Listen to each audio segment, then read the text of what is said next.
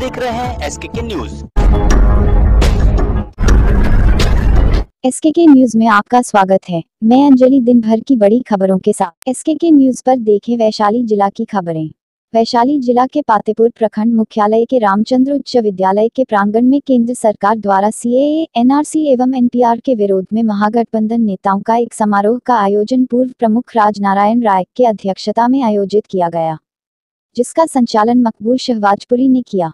जिसमें मुख्य रूप से राजद प्रखंड अध्यक्ष मोहम्मद इस्लाम, पूर्व जिला पार्षद सदस्य प्रोफेसर जसीर, राजद के जिला महासचिव सह पातेपुर विधानसभा क्षेत्र बरबटा मुखिया राज नारायण राम, मोहम्मद मकबूल, मोहम्मद इकबाल शोहरत वैशाली, मोहम्मद उसैद, अमजद मानू पूर्व छात्र संघ अध्यक्ष उत्कर्ष कुमार ए नेता सह पैक्स अध्यक्ष महुआ, नरेश राय, महती समिति सदस्य महेश राय, मोहम्मद अंजार, विजेंद्र राय, पंकज राय, मोहम्मद कुर्बानादी समेत सैकड़ों लोगों ने मंच को संबोधित किया।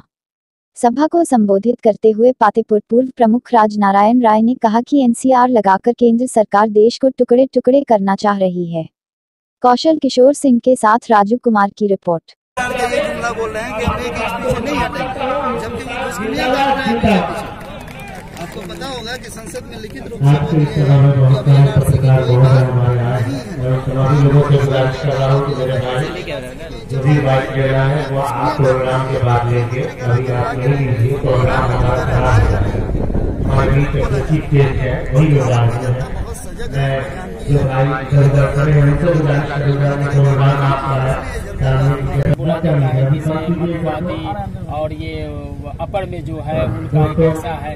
तो क्या वो इस तरह की बात वो कर रहे हैं? क्या इसका असर देश पर पड़ रहा है? मनुवादी शब्द का प्रयोग प्रयोग कर रहे हैं आपके वक्ता जो है इस प्रकार का। देखिए मनुवादी जो है कोई एक व्यक्ति नहीं है। मनुवादी जो है कोई एक समाज नहीं है। मनुवादी कोई सोच नहीं है। व्यक्ति नहीं है समाज नहीं है और न कोई जाति है। मनुवादी क्या है। कट्टरता है। मनुवादी क्या है जो अपने बराबर में हमको नहीं बैठने देना चाहता है।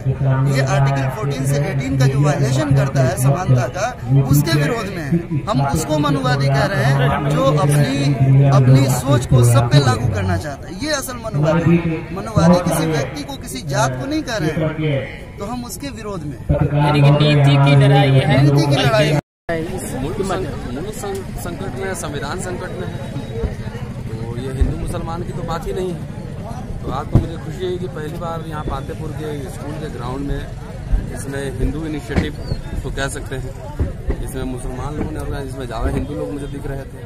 तो सरकार तो बनाने की कोशिश कर रही थी कि हिंदू, मुसलमान, लेकिन जनता पर नाम सरकार है। कौन ऐसा सेगमेंट है इस भारत में, जो इस मोदी सरकार से खुश है, खाली भक्त को छोड़कर?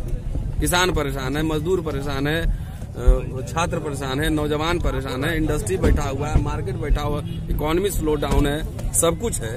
तो चूँकि आपको दिखाने के लिए कुछ नहीं है, दिखाने के लिए कुछ नहीं है तो आपको हर चुनाव में, हर समय जो हिंदू, मुसलमान पाकिस्तान और भारत आपको नज़र आता है। तो ये सब देखिए, खोटा सिक्का जो है ना, बहुत दिन चलता उलता है नहीं। दिल्ली में वो कह रहा था कपिल मिश्रा की आठ तारीख को इंडिया पाकिस्तान होने वाला है। तो अब आठ तारीख बीत गया अब वहाँ के हिंदू खतरे में नहीं अब बिहार में हिंदू खतरे में आने वाला है। भाजपा का हिंदू जो भाजपा करता है। तो कोई हिंदू मुसलमान की बात नहीं आइए हम रोज़गार पे चर्चा करना चाहते हैं मैं विश्वविद्यालय में पढ़ाता हूँ।